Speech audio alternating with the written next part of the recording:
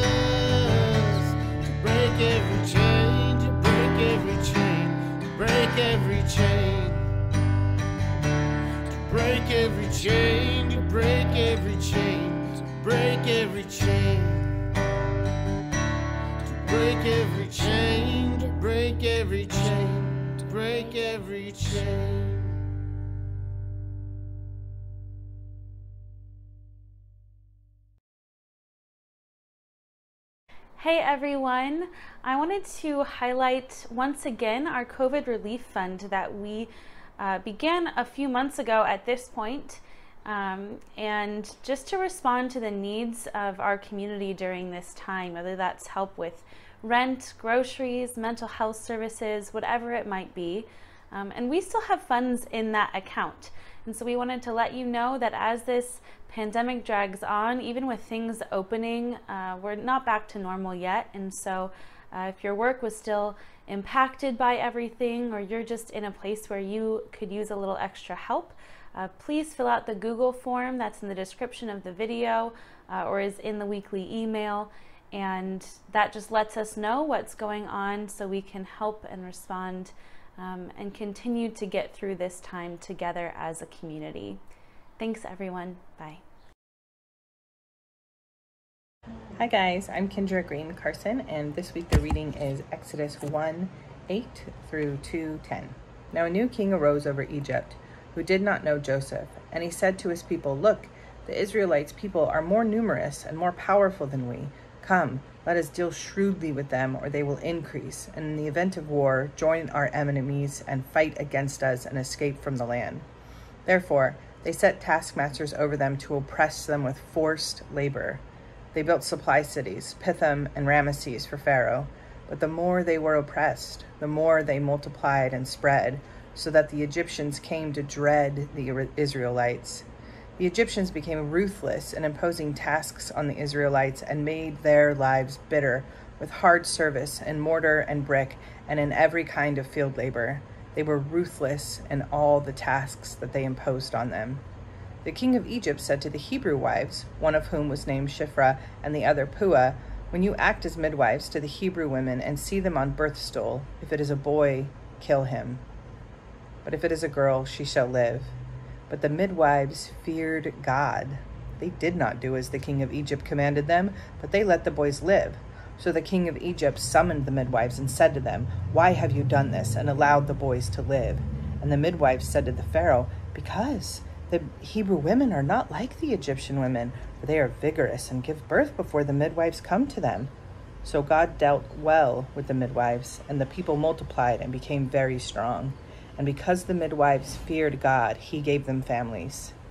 Then Pharaoh commanded all his people, Every boy that is born to the Hebrews you shall throw into the Nile, but you shall let every girl live.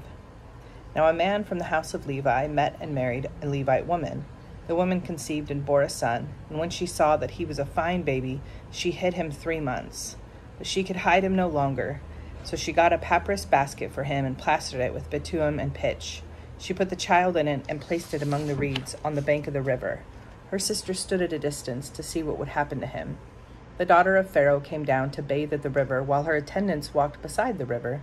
She saw the basket among the reeds and sent her maid to bring it. When she opened it up, she saw the child. He was crying, and she took pity on him.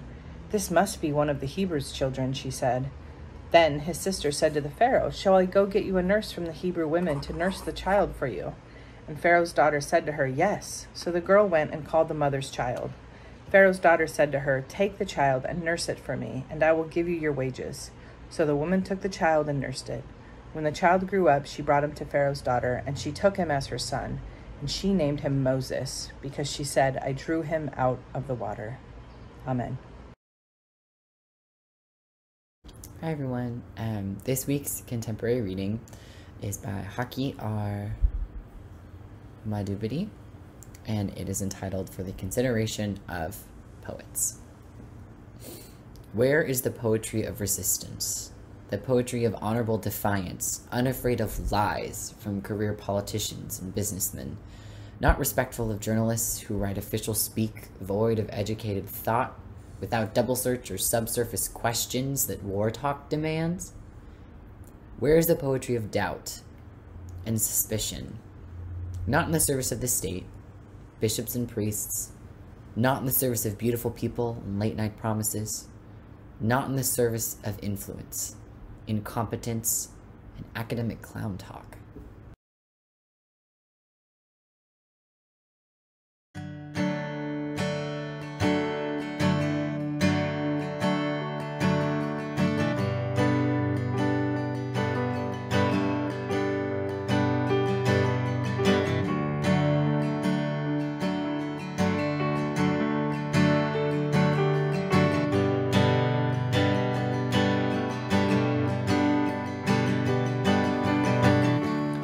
Could just sit, I could just sit and wait for all your goodness. Hope to feel your presence. I could just stay, I could just stay right where I am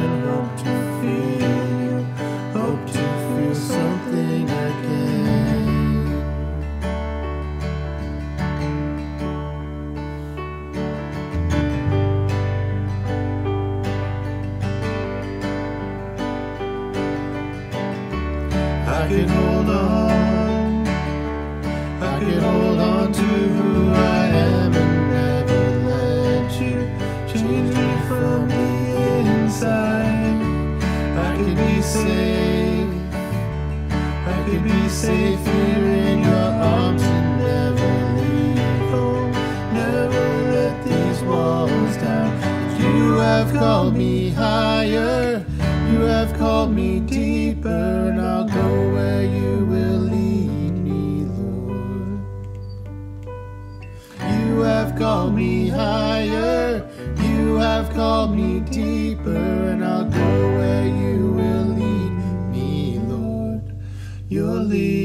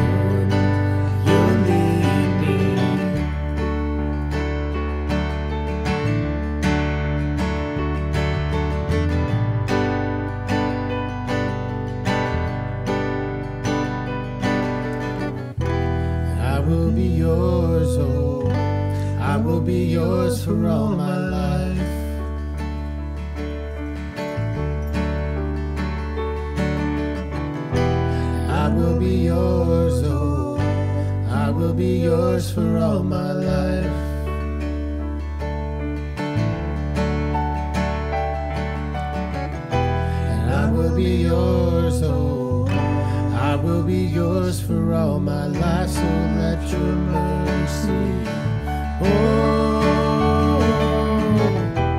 I will be yours, oh, I will be yours for all my life. So let your mercy light the path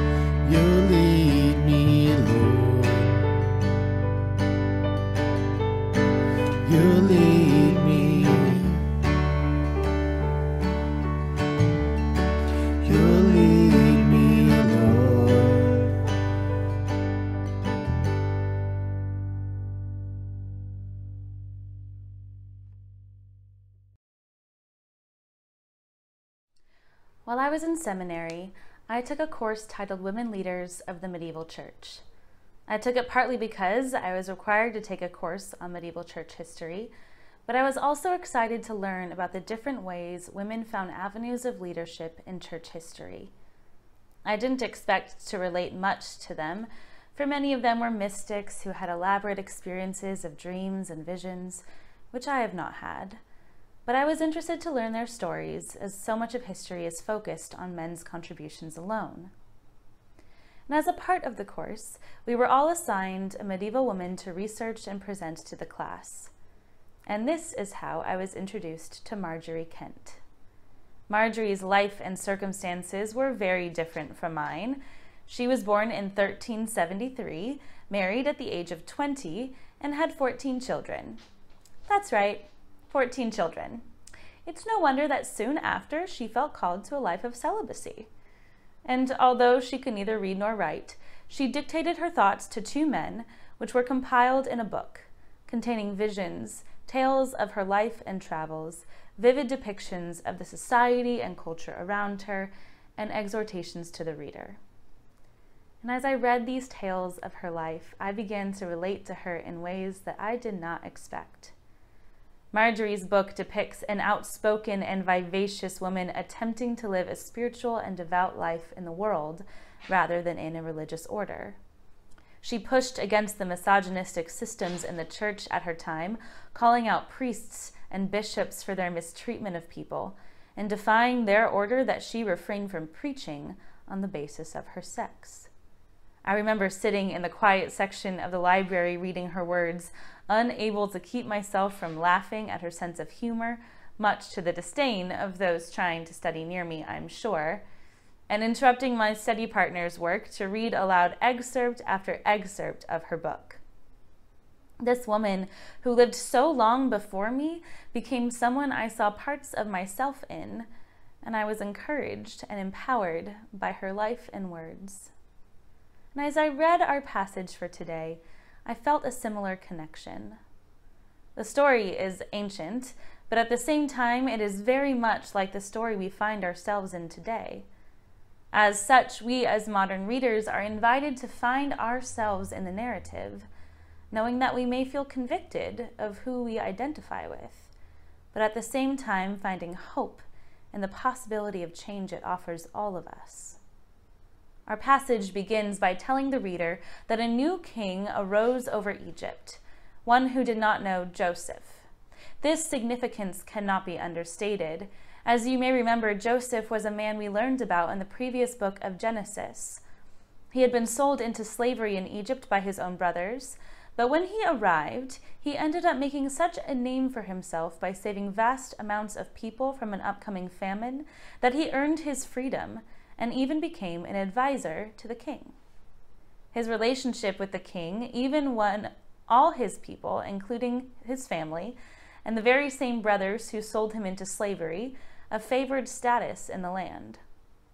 So the narrator telling us that this king did not know Joseph signifies that he has forgotten, either unknowingly or deliberately, the shared history between his people and Joseph's people, who had become known as the Israelites. He had forgotten that they had only thrived when they did so together. He had forgotten that it was because of Joseph that his own people had survived, paving the way for them to later thrive as a civilization. His forgetfulness, whether intentional or not, created the landscape that would lead to what happens next. For this Pharaoh, this ruler immediately begins to view the Israelites as a threat. He says, Come, let us deal shrewdly with them, or they will increase, and in the event of war, join our enemies and fight against us and escape from the land. Therefore, they set taskmasters over them to oppress them with forced labor. They built supply cities, Pithom and Ramses, for Pharaoh. Pharaoh uses the tactic of fear to garner support for his grand plan, forcing the Israelites into slavery, oppressing them with labor, and creating a system that would benefit him and his people alone. Notice the rhetoric Pharaoh employs in this moment, the rhetoric of us versus them. I'll read it again. Come, let us deal shrewdly with them, or they will increase in the, in the event of war, join our enemies, and fight against us and escape from the land. This rhetoric is intentional and has been used throughout history to amass power for one person or group. This is the language of oppression. Also, notice that Pharaoh's claimed fear is that the Israelites will both grow in number and that they will eventually leave. For Pharaoh's system to succeed, it needs the Israelites to have less power in the form of a smaller population than the Egyptians, but it also needs them to remain in Egypt. It needs them to be their unpaid workforce, aka slaves, creating profit in the form of supply cities. But what happens next was not in Pharaoh's plan. For we are told that the more they were oppressed, the more they multiplied. And while the word here clearly means they multiplied in number, I have to imagine it also meant that they not only increased, but they were a thriving people. Unfortunately, it was no longer just Pharaoh who feared the Israelites, but the Egyptians had come to believe his lies about them, and they were filled with dread.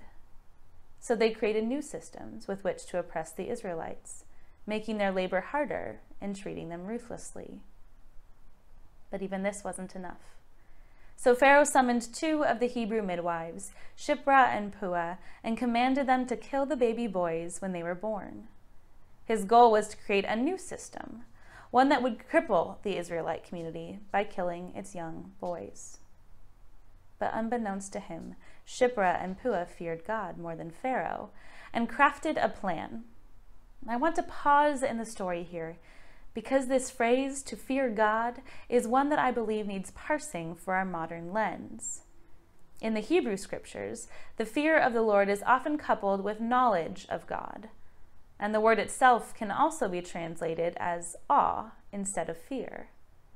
So, another way of understanding this is that Shiphrah and Puah knew who God was, and because of that knowledge, knew what it meant to follow her in this situation that is, not to kill the Hebrew boys.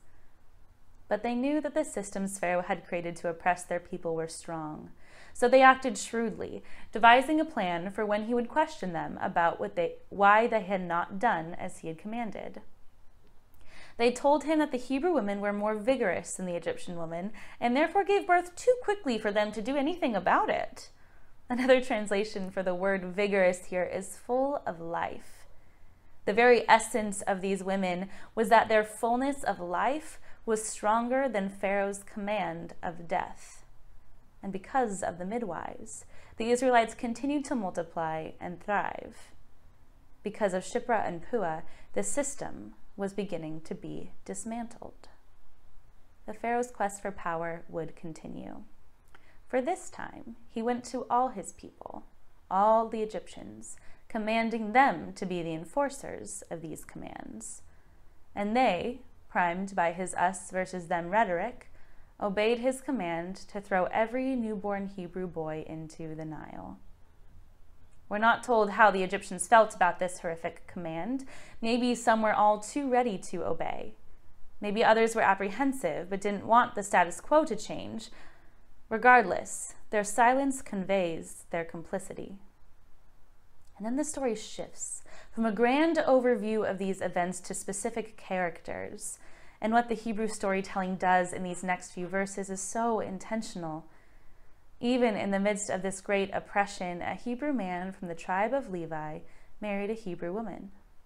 As things go, they conceived and bore a son, and his mother saw that he was a fine baby. The Hebrew here is clear, for it is the same phrasing as the first creation story in Genesis, when God created and saw that God's creation was good. By aligning the birth of this baby with God's initial creation, it is clear to us that something powerful is happening with this birth. We are told that the mother hid the baby until she could no longer, so she put him in a basket in the Nile. The Hebrew word for basket could also be translated as little ark. The storyteller has already reminded us of God's creation and is now reminding us of God's saving of Noah and his family in the ark during the flood. Let it also not be lost on us that the baby is put into the Nile. The place which was meant to be his death became his avenue to life.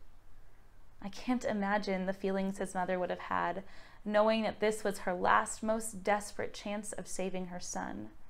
But I know this that courageous act was another step in the dismantling of the system. What happens next is fascinating because, on one hand, it may seem as though it is pure coincidence, but in reality, I think it's clearly intentional. Pharaoh's daughter, yes, the very Pharaoh who ordered the systemic oppression of the Israelite people, including the killing of their newborn boys, finds the baby in the reeds of the Nile. His sister had been watching to see where he went and chose the perfect moment to reveal herself from her hiding place, just as Pharaoh's daughter realizes that the baby was one of the Israelites.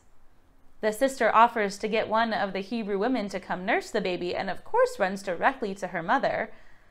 And it is in this way that the baby's own mother is tasked with nursing him and even gets paid for her labor. It's unclear in the passage, but with how cleverly the Hebrew storytelling has been to this point, I think it's safe to say that all of the women, Pharaoh's daughter included, were in on this scheme together. These women worked across class and ethnic divides to begin the dismantling of a system of oppression. And for those of us who know how this story continues, the baby grows up to be Moses, the one who would lead the Israelites out of slavery in Egypt. And it would be that event in the history of the Israelite people that God would continually remind them of in order to keep them from doing the same to other nations. They would be commanded to not be like Pharaoh, who forgot the history of his people and the Israelite people, but to remember that they had been slaves in Egypt, and therefore they would deal kindly with the strangers in their midst. They would be commanded not to employ the us versus them rhetoric that had been used to oppress them in the past. Friends, I read this story in the parallels to the history of the United States and how we're seeing that manifested today seems so obvious. But I will admit that as I read it, I feel convicted. I feel convicted that the church throughout history has often been more aligned with Pharaoh than with the Israelites. I feel convicted that as a white person, I benefit from the system of oppression and therefore am more like one of the Egyptians participating in a system that benefits me at the expense of others. I feel convicted that we as a whole have not listened to the voices of marginalized women, particularly black trans women, who are all too often doing the work of dismantling systems of oppression while getting none of the credit or the justice they deserve but I also feel hope. I feel hope that it is possible to work across the things that divide us in partnership to dismantle systems of oppression. I feel hope when I realize that God is at work in this story through people who know her and are willing to act. I feel hope that we all have a part in this work, and the weight of the task does not rest solely on any one person's shoulders. I feel hope that things can change for the better if only we participate in the work together.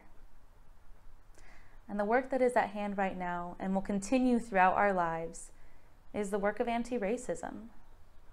What we're seeing right now is the dismantling of racist systems, and we all have a part to play. Your part might be educating yourself about the history of racism in this country or its current forms. Your part might be marching in protest. Your part might be confronting the racism within yourself and your loved ones.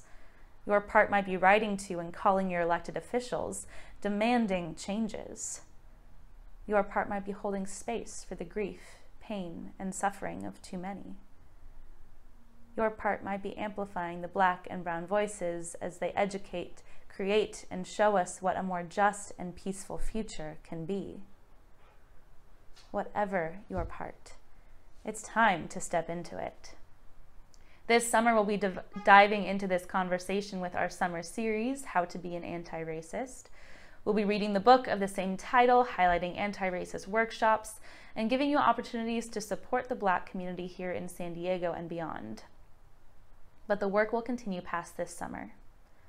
The work of dismantling systems of oppression is lifelong and will manifest in different ways throughout our lives. And that thought might be daunting to you, but I don't want to hide the reality from you, for that is what can lead to burnout along the way. So take your Sabbath rest, for it is finding that rest that allows us con- to continue in this work. And have hope, for change is possible. Amen.